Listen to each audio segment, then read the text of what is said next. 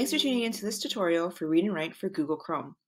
In this video, I'll be showing you one of the functions that can help you with your writing, and that's Talk and Type that will turn speech into text.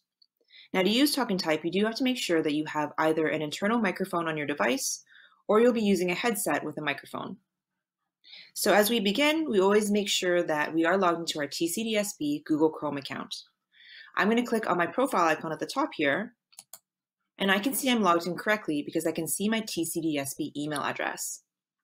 I also know I'm logged in because I can see the extensions that are available to all students when you're in your account, and that's Read and Write, Equatio, and PDF Reader. So I'm all set up in Google Chrome. I'm going to open up a Google Doc here so we can test out the Talk and Type feature. To pull up the Read and Write toolbar, I'm going to click once on the purple puzzle piece. The and Type icon can be found right in the center of the toolbar, and that's the one with the headset and the microphone. When I click on it, an icon of a microphone will appear on the left side of my page.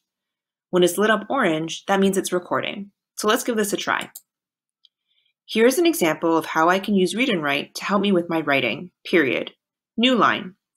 Read and Write can help me take notes, comma, get my thoughts down quickly on paper, comma, and it can help me check my work as well, exclamation mark. New line.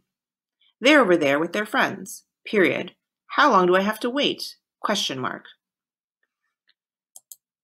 I can disengage the microphone anytime by clicking on the icon or by clicking on the talk and type icon in the toolbar. A couple of things you may have noticed. The first thing is that you do have to specify your punctuation when you're using speech to text. So I did have to tell read and write where I wanted a comma or a period or a new line, for example. The other thing you may have noticed is that when I said this sentence here as an example, read and write was quite intuitive with the grammar. Now read and write is quite accurate when it comes to listening to speech and turning it into text, but it's not accurate 100% of the time. So you do want to check your work. One way I can do this is by using the text to speech function. I can highlight the text and click on the play button to have it read back to me. Here's an example of how I can use Read and Write to help me with my writing. Read and Write can help me take notes, get my thoughts down quickly on paper, and you can help me. So by doing this, I noticed there was one error here that I can go ahead and fix.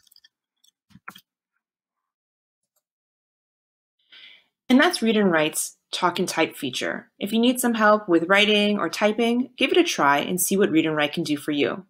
Thanks for watching.